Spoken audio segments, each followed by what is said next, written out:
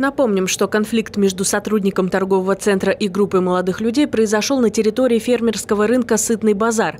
По имеющейся информации, мужчина сделал замечание подросткам, которые после этого позвали своих знакомых, окружили мужчину, стали высказывать угрозы и применили в отношении него физическую силу. По данному факту следственными органами Следственного комитета России по Тамбовской области организовано проведение доследственной проверки по статье 213 Уголовного кодекса Российской Федерации «Хулиганство». Александр Бастрыкин поручил руководителю Следственного управления Следственного комитета России по Тамбовской области Александру Полшакову доложить о ходе проверки и установленных обстоятельствах.